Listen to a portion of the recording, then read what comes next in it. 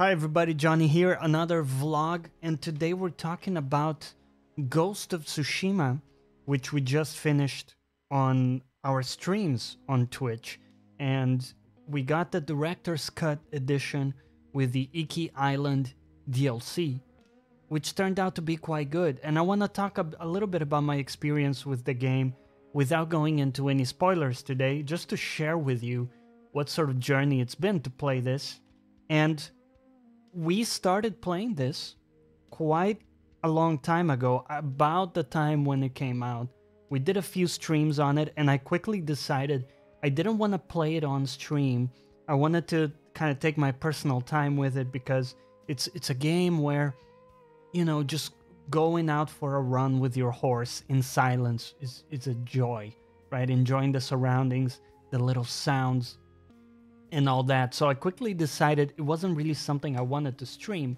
But fast forward to recently, the multiplayer came out that was a little bit ago, and I played that with Rijaku and Karak from ACG. We had a great time playing that, and that kind of revived my excitement for the game. And I went back into the campaign, which I had left halfway through, and uh, actually finished it on stream. I decided at that time, you know what?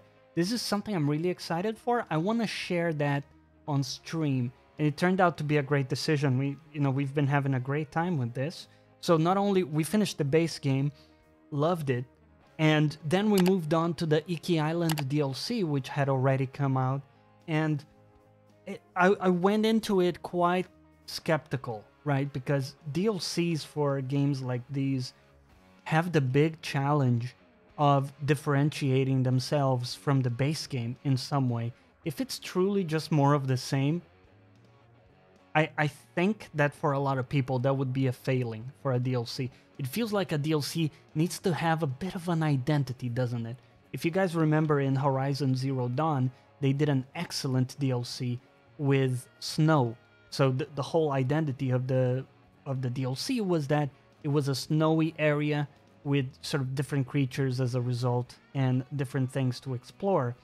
I think that's the juice for a DLC. It has to have that little something that's just slightly different than the setting of the main game. And the way Ghost tries to do it in Iki Island is in a couple of ways. One, the setting is predom- the vegetation is much more predominant. It's kind of like the whole island is overrun by vegetation in some way uh, uh, almost supernaturally so. And it gives it a very a quite unique look compared to the original. And they're also much more colorful with the skybox i found. I found at times it, it almost looked like a painting. And an element of that too is that you're tripping balls in the dlc because you're basically given some kind of poison that gives you hallucinations and forces you to face your inner demons and memories of your dad and all that stuff. Uh, daddy issues. Um, but that allows them to do crazy stuff with colors and things like that because you're in the middle of this trip. Even when you're out of it, it it's not clear what of the experience is being affected by that sort of poison thing. So I think that gives it that little edge to differentiate the setting from the base game. And the story in the DLC is quite short. I will say, if you're expecting something long, you may be disappointed here. Uh, I would rate the DLC overall as an okay DLC. The the band you're facing, uh, or the band of warriors you're facing, is rather forgettable, in my opinion.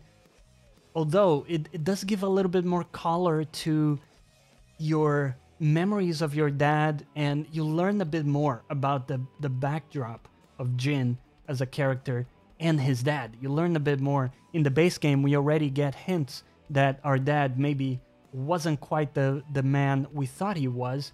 Um, I'm not going to say whether for bad uh, or good, but he turned out to be something a little different than what we remembered initially. And that gets solidified and a little more color gets added to it in the DLC. So that's something to take from it. But I will say the main reason to play the DLC is because you love the game. If you love the base game, like I did, it's a great thing to jump into and sink your teeth into some of these extra quests as well that you get, some uh, different skins that you can unlock. For me, that's also the juice in the game. It's all the different skins. In fact, there's this uh, system in the game which instead of having actual markers on screen, what you have is the wind guiding you, isn't it?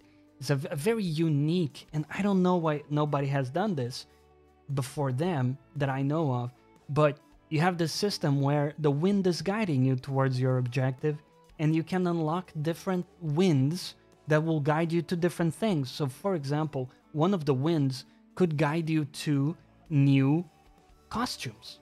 And I love that. I would turn that on and I would just lose myself in running with my horse towards unlocking these different cosmetics and things like that. That was dope. You could also, you know, find other stuff with with these different winds I thought was a great touch. And what a nice way to remove the clutter from the screen. It, what a better way than to just integrate it into something that's already there naturally, like the wind and it's done well. It's done subtly while also giving you enough information to stay on track. So great. I mean, just big kudos to them on the HUD in general. Not only the wind, but the HUD overall is quite clean. They they have like a clean design aesthetic to all of their menus that synergizes well with the samurai look, with the oriental look they're going for. Everything is, is like ink on white, like black ink on white, on a white canvas. It looks great. And the whole thing works well. I think for me, the big surprise is how much I enjoyed the combat in this damn thing. Because most times in open world games, and I'm looking at you, AC, Odyssey, Origin, and Valhalla, I like those games. And the setting is incredible. The worlds they build are amazing, right? They're amazing, guys. But this is a game that not only has an amazing setting and world building, but the combat is actually fucking good. It's good. It's deep.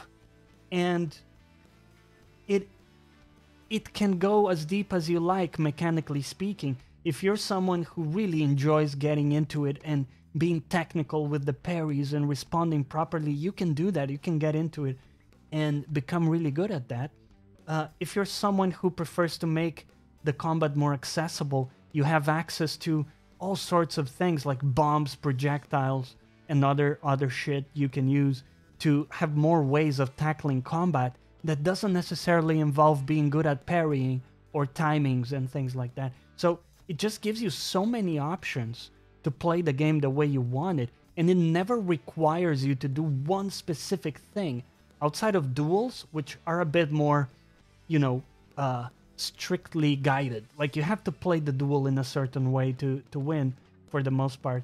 But all the combat outside of that is really free, and you have this uh, the impression that you have this endless toolkit at your disposal to tackle any situation that comes your way.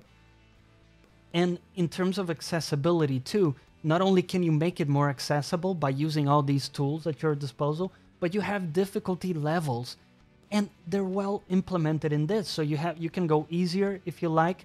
I played most of it in medium and it felt quite easy for my taste, but I enjoyed it. Um, I, I wasn't really after a super technical challenge for this one, so I enjoyed medium difficulty but there are higher difficulties as well. And there is one, I believe, which is almost like a glass cannon where you basically kill people in one hit, uh, but you also die very quickly. So it's almost like a trade off in a glass cannon style of gameplay that would really change how the game plays out.